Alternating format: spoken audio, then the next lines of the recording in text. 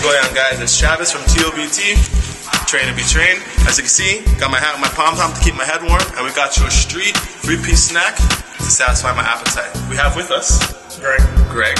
Now, Greg, speaking of appetite, um, what is something that you you would say you consume pretty frequently that you would consider healthy? A salad. Salad? Yeah. What kind of salad? A Greek salad. Greek. I prefer a Caesar. I just have a thing for Caesar salad. And French dressing, me and you can be friends.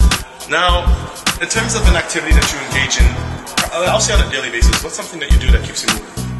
Take the stairs instead of the escalator on the TTC. Okay, um, at the, uh, maybe at work as well or home? Or? Either or, yeah. Okay. Um, now, what's something that you do to put yourself in a good mental place? Let's say you're having a bad day. You're having a terrible day, a horrendous day. What is it that you do to kind of pick your spirits back up? Some music. Music? Any genre in particular? R&B. R&B. There you go. Rhythm and blues. Now there you have it. Have your nutritional tip. Greg likes to eat Greek salad.